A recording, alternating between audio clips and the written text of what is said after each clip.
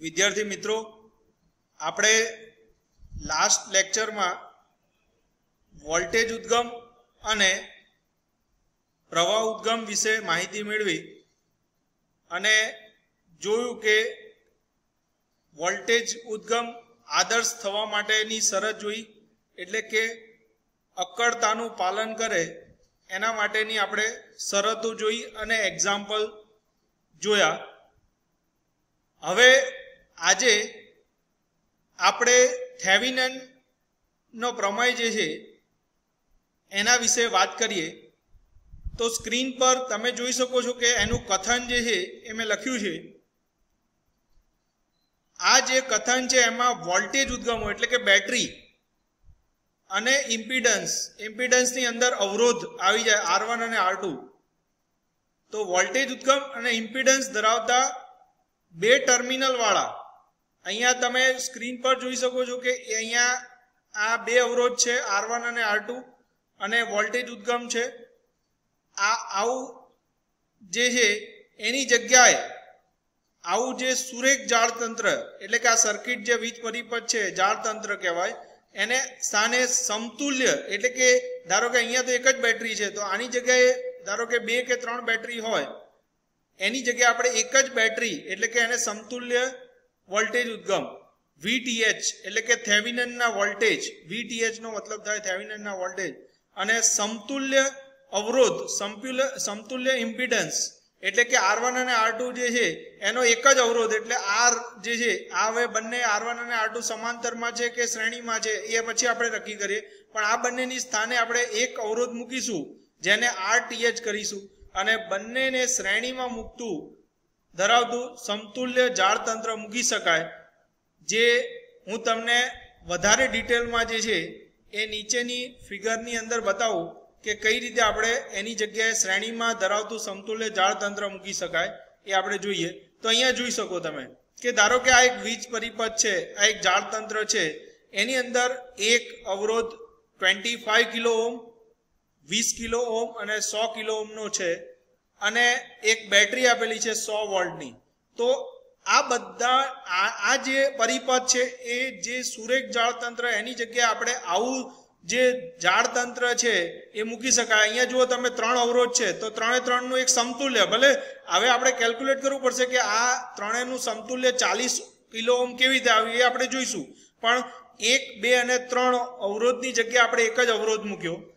બરોબર? અને આ બેટરી જે છે એનું મૂલ્ય હવે બદલાઈ જશે, એસી વોલ્ટ થઈ જશે, જેને વીટીએચ કહેવાય. અહીંયા સિમ્બોલ ભલે ચેન્જ થયો વીટીએચ એટલે થેવિનનના વોલ્ટેજ આરટીએચ એટલે થેવિનનનો અવરોધ. તો આ બંનેને શ્રેણીમાં મૂક્યું છે. એવું ચાળતંત્ર મૂકી શકાય. એ તમે જોઈ શકો છો. પાછું આપણે પ્રમેય જે છે એનો કથન જોઈએ. તો જોઈએ, વોલ્ટેજ ઉદ્ગમો અને ઇમ્પિડન્સ એટલે કે અવરોધ ધરાવતા બે ટર્મિનલ વાળા કોઈ પણ સુરેખ જાળતંત્રને સ્થાને સમતુલ્ય વોલ્ટેજ ઉદ્ગમ એટલે એક જ વોલ્ટેજ ઉદ્ગમ અને સમતુલ્ય ઇમ્પિડન્સ એટલે કે એક જ અવરોધ આરટીએચ ને શ્રેણીમાં જોડવાનું છે. અને એવું સમતુલ્ય જાળતંત્ર મૂકી શકાય. ફરીથી આપણે એકવાર જોઈએ. અહીંયા જોઈ શકો છો કે એક અવરોધ, બે અવરોધ અને ત્રણ અવરોધ હતા. તો ત્રણે ત્રણ નીકળી અને એક જ અવરોધ થઈ ગયો. આને કહેવાય સમતુલ્ય અવરોધ કહેવાય. બીજું જેટલા આ તો અહીંયા એક જ બેટરી આપેલી છે. એવી રીતે બે, ત્રણ બેટરી ભલે જોડેલી હોય તો એની જગ્યાએ એક જ બેટરી જેને વીટીએચ થેવિનનના વોલ્ટેજ કહેવામાં અને આ વીટીએચ અને આરટીએચને શ્રેણીમાં જોડેલા છે. આવું સમતુલ્ય જાળતંત્ર મૂકી શકાય. આ વસ્તુ સમજવાની છે. આ એક્ઝામ્પલ માટે ખાલી મેં તમને આપેલું છે. હવે જે છે, એને આપણે પાછું સ્ક્રીન ઉપર જઈ અને ધારો કે તમને આની અંદર તો એક્ઝામ્પલ પૂછાવાના છે, પણ આપણે એની પ્રોસિજર પહેલાં જોઈ લઈએ. કે થેવિનનના પ્રમેયની સાબિતી આપવી હોય તો એમાં સાબિતીમાં શું હોય? ધારો કે એક આવું જાળતંત્ર છે એની અંદર આપણે આઈએલ આઈએલ એટલે લોડ પ્રવાહ કહેવામાં આવે છે, જે આરએલ, લોડ અવરોધ. હવે આગળ મેં તમને લોડ એટલે શું સમજાવેલું છે? કે ટીવી હોય કે ફ્રીજ હોય, તો એના માટે તમે લોડ કહી શકો એને, અને આરએલ જે છે એને લોડ અવરોધ કહેવાય. અને એમાંથી પસાર થતો પ્રવાહ આપણે આ શોધવાનો છે, જે આપણે જોઈએ હવે. સ્ટેપ નંબર વન, આ જોવા અહીંયાથી પહેલું સ્ટેપ ચાલુ થશે, કે કેવી રીતે અહીંયાથી પહેલું સ્ટેપ બીજું સ્ટેપ ત્રીજું સ્ટેપ કરીશું એટલે તમને આઈએલનું મૂલ્ય જે લોડ અવરોધમાંથી પસાર થતા પ્રવાહનું મૂલ્ય આપણે અહીંયા મેળવી શકીશું. તો પહેલી પ્રોસિજરમાં પહેલું સ્ટેપ શું કરવાનું છે? તો જે સ્ટેપ પહેલું છે, એમાં તમારે શું કરવાનું કે જે અહીંયા આરએલ દોરેલો હતો મેં પહેલા, આગળની ફિગરમાં તમે જોઈ શકો કે આ ફિગરની અંદર મેં જે આરએલ દોરેલો હતો, એને તમારે દૂર કરવાનો છે પહેલા સ્ટેપની અંદર. તો પહેલું સ્ટેપમાં ટર્મિનલ એ અને બી પરથી જે લોડ અવરોધ હતો, એને આપણે દૂર કરી અને જે નવો પરિપથ છે એ આકૃતિ એકમાં દર્શાવેલો છે. ત્યારબાદ ટર્મિનલ એ અને બી આગળ, અહીંયા વોલ્ટ મીટર મૂકવાનું, એ અને બી ને ત્યાં આગળથી લોડ અવરોધ દૂર કરી દીધો અને ત્યાં આગળ તમે વોલ્ટેજ માપવાના છે. તમારે એ લોડ અવરોધને દૂર કરીને જે વોલ્ટેજ માપશો, એ વોલ્ટેજ જે છે, એ થેવિનનના વોલ્ટેજ દર્શાવશે અથવા એને ઓપન સર્કિટ વોલ્ટેજ કારણ કે આપણે અહીંયાથી લોડ અવરોધને ઓપન કરી દીધો. ઓપન એટલે કાઢ નાખો. એના જે વોલ્ટ અહીંયા પછી વોલ્ટ મીટર મૂકી અને વોલ્ટેજ ચેક કરીશું, તો જે વોલ્ટેજ મળશે અને એને આપણે જે છે, એ થેવિનનના વોલ્ટેજ અથવા ઓપન સર્કિટ વોલ્ટેજ કહીશું. અને થેવિનનના વોલ્ટેજ માપવા માટેનું આ સૂત્ર છે, કેવી રીતે મળશે? તો ધારો કે કુલ પ્રવાહ અહીંયાથી બેટરીમાંથી આઈ જેટલો પ્રવાહ અહીંયાથી પસાર થાય છે, તો અહીંયા તો ઓપન સર્કિટ થઈ ગઈ એટલે અહીંયાથી પ્રવાહ પસાર થશે નહીં. આ પ્રવાહ આઈ અહીંયાથી શરૂ થશે અને સીધો જે છે એ અહીંયાથી આમ થઈ અને પાછો આમ જતો રહેશે. કેમ એવું થશે? કારણ કે અહીંયા આ આ પરિપથ અહીંયાથી પૂર્ણ થવા માટે અહીંયા ક્લોઝ પરિપથ હોવો જોઈએ. જે અહીંયા ઓપન છે, આટલા એ અને બી વચ્ચે આપણે લોડ અવરોધ દૂર કરી દીધો. એટલે પ્રવાહ જે છે એ અહીંયાથી ચાલુ થઈ અહીંયાથી જઈ આમ જઈ અને અહીંયા પાછો આમ જશે. આ બાજુ જવાના ચાન્સીસ જે છે એ નથી કારણ કે અહીંયા ઓપન સર્કિટ છે એટલા માટે. તો અહીંયા આપણે જે એ અહીંયા વોલ્ટેજનું મૂલ્ય શોધવું હોય તો અહીંયા કોની વચ્ચે? એ અને બી વચ્ચેના વોલ્ટેજ એટલે એનો મતલબ કે સમાંતરમાં વોલ્ટેજ સરખા હોય. તો એ અને બી વચ્ચેના જે વોલ્ટેજ છે એનો મતલબ કે આરની વચ્ચે જે વોલ્ટેજ માપો, એ જ તમારા એ બીની વચ્ચે વોલ્ટેજ મળે. તો તમારે આરની વચ્ચે વોલ્ટેજ કેવી રીતે મળશે? તો વોલ્ટેજ બરાબર વી વોલ્ટેજ વીઓસી વોલ્ટેજ બરાબર પ્રવાહ જે છે, પ્રવાહ કેટલો પસાર થાય છે એની વાત કરીએ તો પ્રવાહ તમારી સર્કિટ આટલી જ છે, સમજી લો. તો આ આટલી સર્કિટમાં આર વન અને આર ટુ સમાંતર શ્રેણીમાં થયા, એટલે R one plus R two થાય કુલ અવરોધ. અને બેટરીનું મૂલ્ય ઈ છે. અહીંયા આપણે ઇક્વેશનમાં વી વન બરાબર ઈ લીધેલું જ છે. તો ઈ ભાગ્યા R one plus R two એ કરો એટલે તમને જે છે એ કરંટ મળશે. તો કરંટ તમારો શું થશે? વી વન વી વન એટલે કે ઈ ઈ તમારે લેવાનું છે. ઈ ભાગ્યા R one plus R two અને વોલ્ટેજ જોઈએ છે, તો પ્રવાહ ગુણ્યા અવરોધ. તો કોની વચ્ચેનો અવરોધ જો છે, આ બે આ બે છેડા વચ્ચે. કારણ કે આપણે એ અને બી વચ્ચે જોઈએ. પણ એ અને બી અને આ બે બિંદુઓ એ સમાંતરમાં છે. સમાંતરમાં વોલ્ટેજ સરખાવો એટલે તમે આરની વચ્ચે જે વોલ્ટેજ માપો, એ જ તમારા એબીની વચ્ચે આવે. તો બી આ પોઈન્ટ અને આ પોઈન્ટ વચ્ચેના જે વોલ્ટેજ એનો મતલબ કે એમાંથી પસાર થતો પ્રવાહ અને અવરોધનો ગુણાકાર, તો એમાંથી પસાર થતો પ્રવાહ જે છે એ આઈ થશે અને આઈનું મૂલ્ય જોયું કે આઈ એટલે ઈ ભાગ્યા ઈ ભાગ્યા R one plus R two અને કોની વચ્ચે એ પ્રવાહ થયો, આટલો પ્રવાહ થશે. વી વન ભાગ્યા આર વન પ્લસ વી વનની જગ્યાએ આપણે ઈ લીધું છે અહીંયા, એ તો ઈ વન ઈ ભાગ્યા R one plus R two એને પ્રવાહ કહેવાય. પ્રવાહ અને આર ટુ બેનો ગુણાકાર એટલે તમને જે છે એ થેવિનનના વોલ્ટેજ મળશે. તો આપણું પહેલું કામ જે છે, પહેલું સ્ટેપ તમને ક્લિયર થઈ ગયું હોય, થેવિનનના વોલ્ટેજ શોધવાનું છે. થેવિનનના વોલ્ટેજ જે છે એ આપણને આ રીતે મળી જશે. બીજું સ્ટેપ જે છે, એમાં થેવિનનનો અવરોધ જે શોધવાનો છે. તો પરિપથમાં શું કરવાનું? જે પહેલી ફિગર હતી, એની અંદર જે બેટરી છે, એને પણ હવે દૂર કરવાની. બીજા સ્ટેપમાં બેટરીને દૂર કરી, એટલે કે અહીંયા શોર્ટ કરવાની. તે અહીંયા ઓપન નથી કરવાનો. બેટરીને દૂર કરીને ત્યાં સીધો વાયર જોડવાનો છે. જે આકૃતિ બેમાં અહીંયા જોઈ શકો તમે કે અહીંયાથી જે બેટરી હતી એ આપણે દૂર કરી દીધી અને ત્યાં વાયર જોડી દેવાનો છે. એને શોર્ટ કર્યું કહેવાય. તો આકૃતિ એકમાં જે બેટરી હતી વોલ્ટેજ ઉદ્ગમ, એને શોર્ટ કરી ને એટલે શોર્ટ કરવી એટલે શું? તો બેટરી દૂર કરી ત્યાં વાયર મૂકી દો એટલે એ શોર્ટ થયું કહેવાય. અને મળતો નવો વીજ પરિપથ જે આકૃતિ બેમાં દર્શાવેલો છે. તમે જોઈ શકો છો આકૃતિ બેમાં હવે તમારે આ જ પરિપથને આ બાજુથી જોવાનો છે. એ અને બી તરફથી અહીંથી જુઓ એટલે આર વન અને આર ટુ જે છે એ સમાંતરમાં થશે. અહીંયા લખેલું છે, આકૃતિ બેમાં ટર્મિનલ એ અને બી આગળથી વીજ પરિપથને જોતા આર વન અને આર ટુ સમાંતરમાં જોડેલ છે. અને સમાંતરમાં હોય તો તમને એનો સમતુલ્યનું ઇક્વેશન આપણે બારમામાં ભણી ગયા છે. વન અપોન આર બરાબર, one upon R one plus R two અને એનું સાદું રૂપ આપીએ તો આર બરાબર જે છે એ R one plus R two એવું તમે અહીંયા આપી શકો.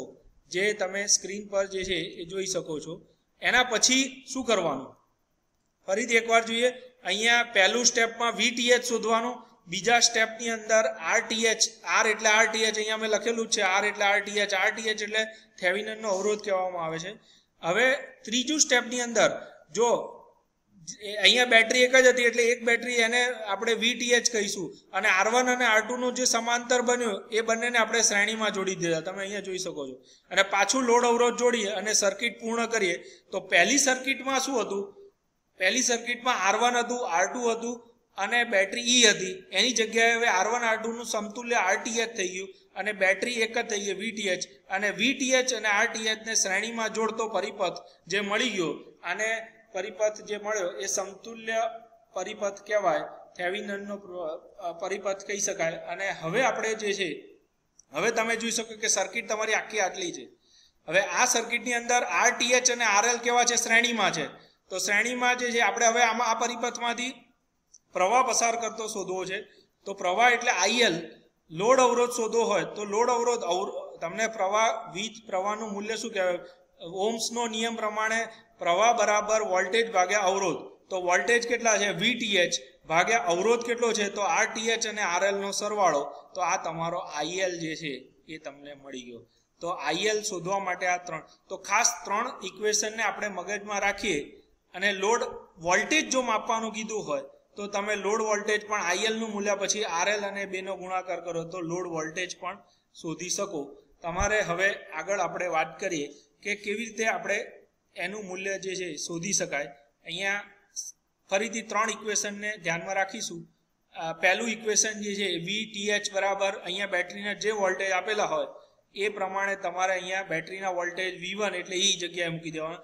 આર વનનું મૂલ્ય આપેલું હોય તો આર વન આર ટુનું મૂલ્ય મૂકી દેવાનું અને આર વન અને આર ટુનું નીચે આ રીતે મૂલ્ય. પહેલો સ્ટેપમાં તમારે થેવિનનના વોલ્ટેજ માપી લેવાના. એના પછી થેવિનનનો અવરોધ આર ટીએચ બરાબર R one into R two ભાગ્યા R one plus R two આ આ પરિપથ છે, એ રીતે તમારો આ અવરોધ થશે. એટલે એ પ્રમાણે બીજા સ્ટેપમાં આરટીએચ શોધી લેવાનું. ત્રીજા સ્ટેપની અંદર આઈએલ શોધી લેવાનું. અને આ રીતે જે છે, એ આપણે થેવિન જે છે, એનો પ્રમેયનો ઉપયોગ કરીને લોડ અવરોધમાંથી પસાર થતો પ્રવાહ જે છે, એ શોધી શકીએ. અને થેવિનના પ્રમેયનો ઉપયોગ કરીને જો લોડ વોલ્ટેજ પણ માપવાના કીધા હોય જે રીતે એક્ઝામ્પલ આપેલો હોય, એ રીતે આપણે ગણતરી કરવાની રહેશે અને આ રીતે આપણે જે છે, એ ગણતરી કરી શકીએ. તો આ તમને એક એક્ઝામ્પલ આપેલો છે, એ થેવિનનના પ્રમેયનો ઉપયોગ કરીને તમારે આપેલ વીજ પરિપથ માટે પંદર ઓમ લોડ અવરોધ, એટલે કે આરએલનું મૂલ્ય પંદર ઓમ આપેલું છે, અહીંયા આર વન બરાબર ત્રણ ઓમ આપેલા છે અને આર ટુ બરાબર બાર બાર ઓમ આપેલા છે અને બેટરીનું મૂલ્ય છે ચોવીસ છે. તો તમારે અહીંયા મેં જે રીતની હમણાં તમને આખી સિસ્ટમ બતાવી, જે સ્ટેપ વાઇઝ તમને બતાવેલું છે, એમાં સ્ટેપ વનમાં વીટીએચ સ્ટેપ ટુમાં આરટીએચ અને સ્ટેપ થ્રીની અંદર આઈએલ અને વીએલ આ બધા મૂલ્યો જે છે એ તમારે શોધવાના છે. આ એક્ઝામ્પલ જે છે તમારે જાતે કરવાનું છે અને આપણે નેક્સ્ટ લેક્ચરમાં જે છે એનું સોલ્યુશન જે છે એના વિશે ડિસ્કસ કરીશું. તમને જો આ સૂત્રો ખબર હોય તો એમાં ખાલી મૂલ્યો મૂકવાના છે, તો એટલું તો તમે કરી શકો અને આ રીતે તમારા એક્ઝામ્પલ જે છે એ તમે સોલ્વ કરી શકો.